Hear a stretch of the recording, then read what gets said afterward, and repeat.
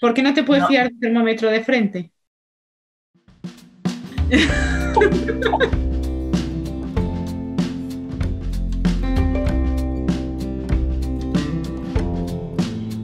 que, sean realmente útiles, yo recomendaría dos. Eh, la opción rápida, que es el termómetro digital axilar, y otra opción, porque el termómetro de mercurio ya sabemos que no se, no se debe usar por el riesgo de que se rompa y de que haya una intoxicación por mercuriales. La otra opción sería el termómetro de galio, que, eh, si tú lo ves es muy parecido al antiguo termómetro de mercurio. Esas son opciones fiables.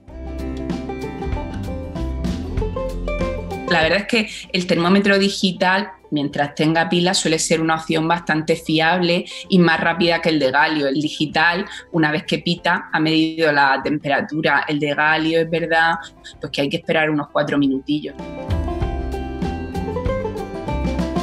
Eh, la que solemos usar es la temperatura asilar. La temperatura de la boca, que eh, salen en muchas fotos de antiguo el niño con el termómetro en la boca, eh, no se suele usar porque puede influenciarse un poco. imagínate que tu niño está con fiebre, pero se acaba de beber un vaso con agua fría, entonces ahí sí que influye mucho. Si ha tomado un líquido caliente, pues puede variar un poquito la temperatura. Y en el culete, pues no lo solemos usar porque es bastante desagradable y, por ejemplo, en niños con problemas de defensa, una cosa que se llama neutropenia, pues ahí sí que no se debería usar nunca. La, la, temperatura rectal, que es la del culete, es la temperatura central y suele ser medio grado más que la temperatura periférica, la de la sila o la de la boca.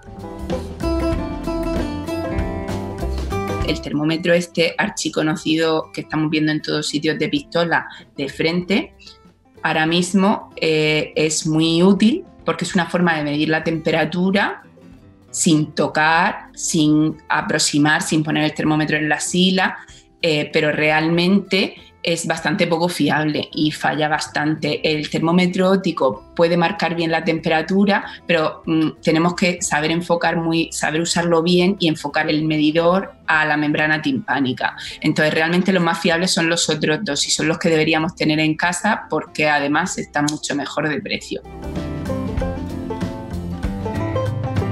Se define fiebre como más de 38 y febrícula por encima de 37 y medio. La hipotermia es tener la temperatura baja y por debajo de 35 no es normal. A veces nos encontramos niños que le toman la temperatura o le baja la temperatura después de haberle dado el antitérmico, que están con 34,9 y están bien y no hay que hacer nada. Si le baja mucho la temperatura y tienen sensación de encontrarse desagradable, pues abrigarlos un poquito y, y ya está. Suele ser algo transitorio. A ver, una cosa es la, temperatura corporal, es verdad que igual que las hormonas, igual que nuestro ritmo de actividad, tiene lo que se conoce como un ritmo circadiano. Es un ritmo que se repite cada 24 horas a lo largo del día.